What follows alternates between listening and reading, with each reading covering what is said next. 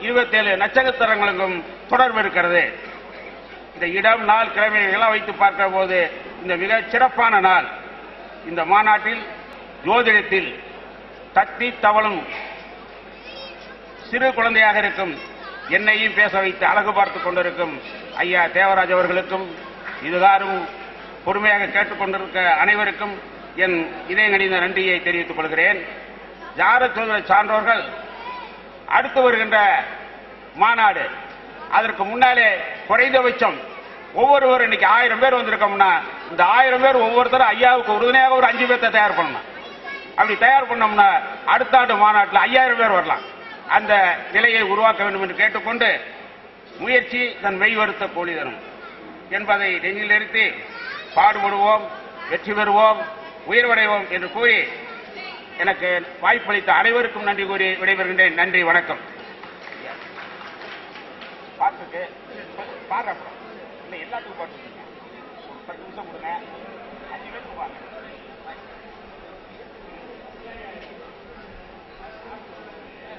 இப்பொழுது ஜோதிஷா ஆதித்யா திரு என். கிருஷ்ணன் பொருளாளர் அவர்கள் டாக்டர் ஏ. ஆர். காசிலிங்கம் அவர்கள் பாராட்டி ஒரு பாட்டு. டாக்டர் டாக்டர் ஏஆர்கே அவர்களுக்கு மதிய உணவு ஆண்டுதோறும் மாநாடு நமது ஒன்பது மாநாடு வரை அன்னதானம் செய்து வருகிறார்கள். அவர்களுக்கு தேவாலயத்திலிருந்து ஒரு வாழ்த்து.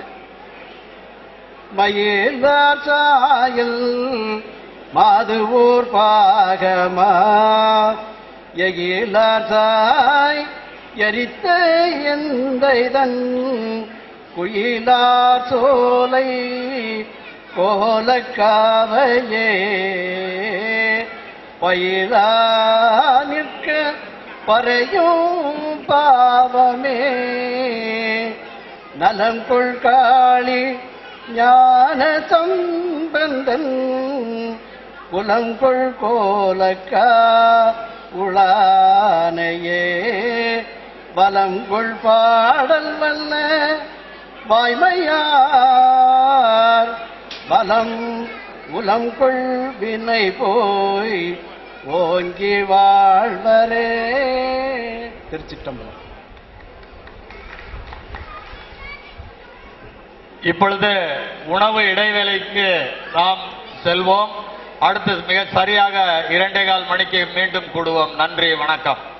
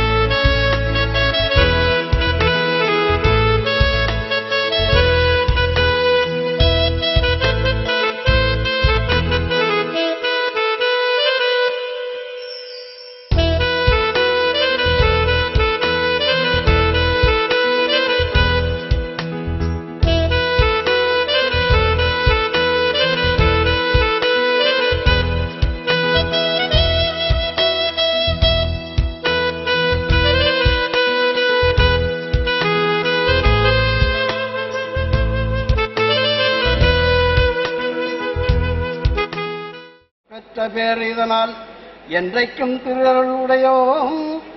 நன்றியும் நெறியில் அழுந்திய நாடும் தமிழ் வேந்தனும் இந்த. வென்றி வெற்றிகள் திருநேற்று ஞாபகளில் விளங்கும் மேன்மையும் படைத்தனம் என்பார். எனக்கு வழங்கப்பட்ட சப்ஜெக்ட் வந்து ஏழாம் பாகம் திருமண வாழ்க்கையும். ஏழாம் பாவம் ஒரு சமசப்தம பாதம் லக்க லக்கணம் ஜாதகத்தை ஜாதகரையும் ஏழாம் பாவம் ஜாதகரை தொடர்பு கொள்ளும் நபரையும் அல்லது சந்திக்கும் நபரையும் குறிக்கும். ஐந்தாம் பாவம் ஏழாம் பாவத்திற்கு ஐந்தாம் பாவம் பதினொன்றாம் பாவம் இது திருப்தியும் மனம் மகிழ்ச்சியையும் கொடுக்கும். கிரக காரகம் குணாதிசயங்கள் பற்றி ஏற்கனவே பேசியவர்கள் பேசிவிட்டார்கள். இது ஏழாம் பாவம் எப்படி இருந்தால் என்ன பலனை தரும் என்று பார்ப்போம். ஏழாம் பாவம் ஒன்று மூணு அஞ்சு ஒன்பது பதினொன்றாம் பாவ தொடர்புகள் நன்மையையும் நாலு எட்டு பன்னிரெண்டாம் பாவ தொடர்புகள் பெற்றால் தீமையையும் ரெண்டு ஆறு ஏழு பத்து பாவங்கள் சூழ்நிலைக்கேற்ப நன்மையும் தீமையும் கலந்து தரும். ஏழாம் பாவம் இரண்டாம் பாவ உபநட்சத்திரங்களுடைய தசையை நடக்கும்போது வர வரதட்சணை கிடைக்க வாய்ப்புள்ளது. ஏழாம் பாவம் மூணாம் பாவ தொடர்பு பெற்றால் திருமணத்துக்கு பின் தனிக்குடித்தனம் போவார். நாலாம் பாவ தொடர்பு பெற்றால் குழந்தை பிறப்பு தாமதமாகும். ஐந்தாம் பாவ தொடர்பு பெற்றால் வாழ்க்கை துணை மீது காதல் மிகுந்த காதல் கொண்டிருப்பார்.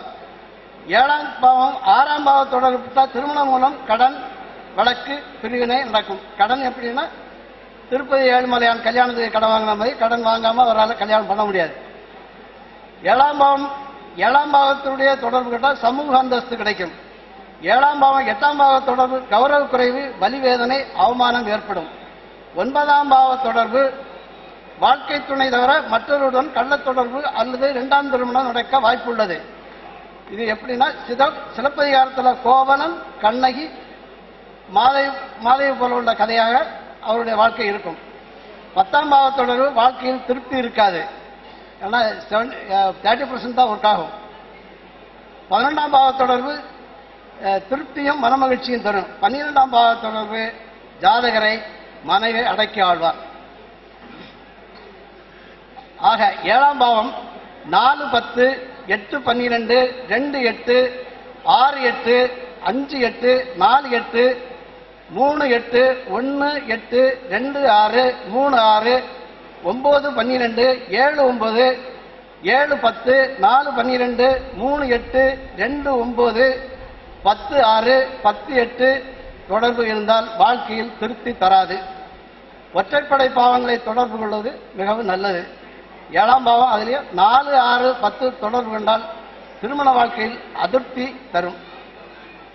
சரி திருமண வாழ்க்கைக்கு முக்கியமா ஜாதக பொருத்தம் பார்க்கணும். ஜாதகத்தை எப்படி இணைக்கும் போது லக்கண பாவம் எல்லா பாகத்தையும் பா- லக்கண பாவம் பார்க்கணும். மூணாம் பாகம் பார்க்கணும் அஞ்சு ஏழு எட்டு ஒன்பது பத்து பதினொன்றாம் பாவத்தையும் கண்டிப்பாக பார்க்கணும். ஒன்றாம் பாவம் பார்த்தா தான் ஜாதகருடைய குணாதிசயம் தெரியும்.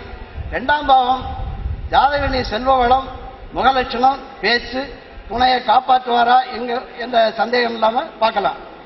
மூணாம் பாவம் துணை கொண்டா சேர்ந்து வாழ்வாரா வெளிநாட்டுக்கு விட்டுட்டு போயிடுவாரா அப்படிங்கிறத பார்க்கலாம். ஐந்தாம் பாவம் குழந்தை பாக்கியம் ஏழாம் பாவம் தாம்பத் தாம்பத்தியம் எட்டாம் பாகம் ஆயுள். ஆயுள் பாகத்தை கண்டிப்பாக பார்த்து செய்யுங்க. சென்னையில் இருக்க பிரபல ஜோதிடர் ஒரு ஜாதகத்தை பொருத்தி தன்னுடைய மகனுக்கே ஜாதகத்தை பொருத்தும் போது ஒருத்தி திருமணம் ஆயிட்டு அவருடைய பையன் ஜாதகம் ஜாதகம் பார்த்தவருடைய ஜோதிடருடைய பையனை ஆறாவது மாதம் இறந்துட்டாரு. இறக்கும்போது அந்த பெண்மை அந்த பெண்ணுக்கு என்ன பாடு இருக்கும் பாருங்க. இதெல்லாம் கருத்தில் கொண்டு அது ஜாதகம் பார்க்கும்போது ஆயுள் பாவத்தையும் கண்டிப்பாக பார்த்து பொறுத்துங்க. இன்னொரு இன்னொரு ஜாதகத்தில் அதுவும் பிரபல்ய ஜோதி ஜோதிடக்காரர் தான். பொருத்தம் பார்க்கறது கொடுக்கும்போது டாக்டர் சோமசுந்தரம்னு. அவர் ஜாதக பொருத்தம் பார்த்துட்டு இந்த ஆண் ஜாதகம் வேண்டான்னு ஒதுக்குனது. அவங்க என்ன பண்ணாங்க இன்னொரு பிரபல ஜோதிடர் புக்கெல்லாம் போட்டிருக்காரு ஜோதிடத்துக்கு. அவற்றை கொண்டு காட்டி பொருத்தம் இருக்குன்னு பொருத்தம் இருக்குன்னு சொல்லி அவர் செல்லலான்ட்டாரு. மாப்பிள்ளை ஐஏஎஸ் பெண் வீட்டுக்காரங்களுக்கு மாப்பிள்ளை விடுறதுக்கு மனசு இல்லை. மாப்பிள்ளை ஐஏஎஸ் பார்த்தீங்கன்னா பொருத்தம் பார்த்து தான் கல்யாணம் பண்ணான்னு அவங்க நினச்சிட்டு இருந்தாங்க. ஆறாவது மாதம் பெங்களூர்லேருந்து சென்னை பிரயாணம் பண்ணும்போது ஒன்பதே மாதத்தில் இறந்து போனார். ஐஏஎஸ் மாப்பிள்ளைனாலும் கூட பொருத்தம் பார்த்து அழகாகவே செய்யுங்க. பத்தாம் பாவம் ஜோதிடருக்கு வேலை வேலை வேலைக்கு போய் சம்பாதிப்பாரான்னு பாருங்க. ஏன்னா வாழ்க்கை பூரா கஞ்சி குத்துறதுக்கு ஒரு வழி வேணுமே. அதெல்லாம் அதை பார்த்து செய்யுங்க. சரி இவ்வளவும் பார்க்கலாம். கம்ப்யூட்டர் இல்லை ஜாதகத்தை எப்படி பொறுத்துறது? ஐயா சொன்னது மாதிரி சந்திரன் குணாதிசயம்னா அப்படி இப்படின்னு சொன்னாரு. இருந்தாலும் ஏழாம் பாகத்துல ஒரு சந்திரன் இருந்தால் இளம் வயதிலே பதினாலு டு பதினெட்டு வயசுக்குள்ளேயே திருமணம் ஆயிரும். சந்திரன் நல்லதுதான் செய்வார். சில நேரங்களில் அவர் சொன்ன மாதிரி குணப்படி இருக்கலாம். ஆனா சந்திரனோட ஏழாம் பாகத்தில் வேற ஏதேனும் அசுப கிரகங்கள் இருந்தால் தாமதமாகும். ஏழாம் இடம் காலியா இருந்தாலும் திருமணம் தாமதம் தான் சந்திரனுக்கு முன்னோ பின்னோ தனித்த ராகு இருந்தால் மனமுறிவு டைவர்ஸ் தான் வரும் கண்டிப்பா. ஏழாம் ஏழுக்குடையவன் ரெண்டில் இருந்தால் மனைவி மூலம் சொத்து வரும். அதே ரெண்டுக்குடையவன் பாவரா இருந்தால் தாமத திருமணம் ஏழுக்குடையவன் மூணில் இருந்தால் வாழ்க்கையில் பற்று இருக்காது.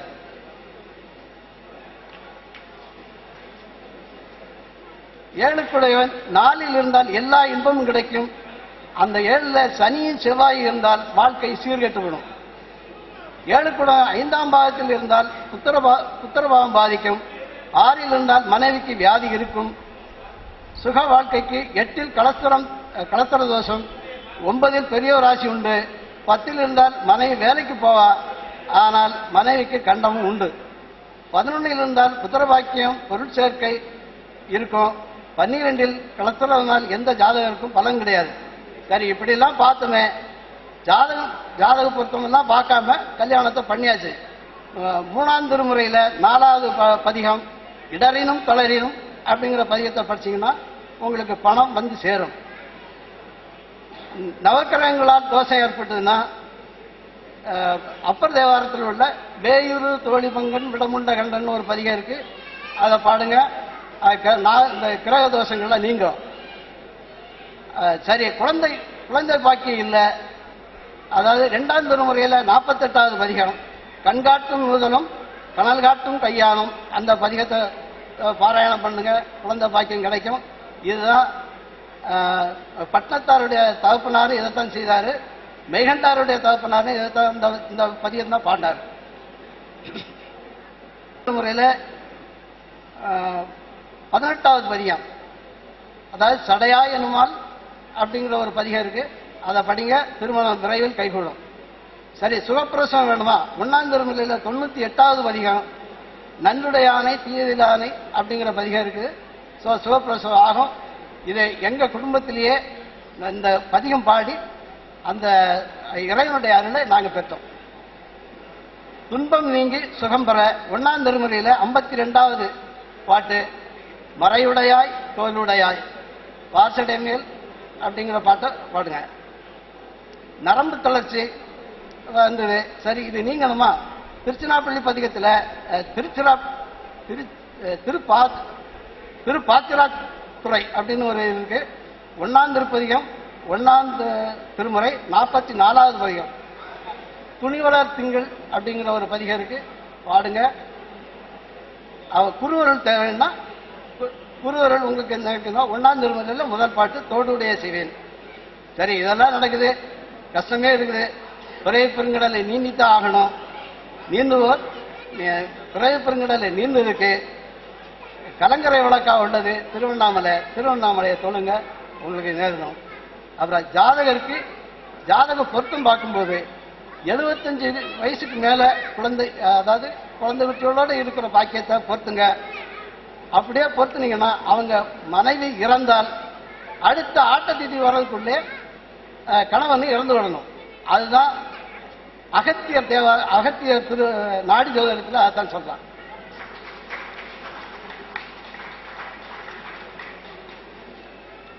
கொஞ்சம். திரு மணி அவர்கள் காளிகாம்பாள் ஜோதிட பயிற்சி மையம் மேடைக்கு வருமாறு கேட்டுக்கொள்ளப்படுகிறார். திரு மணி திருமதி இன்பவதனி அயனாவரம். திரு புருஷோத்தமன் பெசன் நகர். திரு மணி இங்கே வாங்க.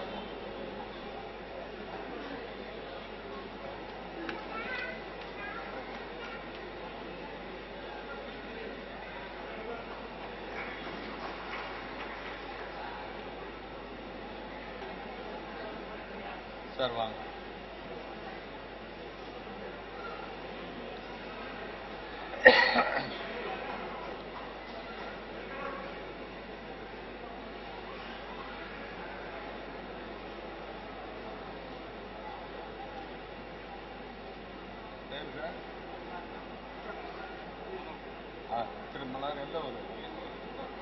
திரு மனோகரன் அயனாவரம் அவர்கள் பொன்னாடை போர்த்துகிறார்கள். எல்லாம் உண்ட மயக்கத்தில் இருக்கிறோம். நம்ம யாரும் கை தட்டுறது இல்லைன்னு முடிவோட இருக்கிறோம். நல்லா தட்டுங்க சூப்பர். வாங்க மேடம். இன்பவதனி மேடம் அயனாவரம் அவர்களுக்கு பொன்னாடை போர்த்துகிறார்கள்.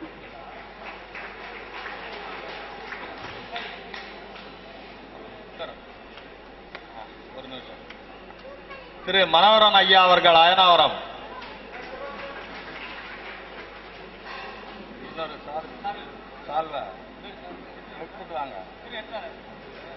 திரு ஜெயபாலன் அவர்களுக்கு பொன்னாடை போர்த்துகிறார்கள்.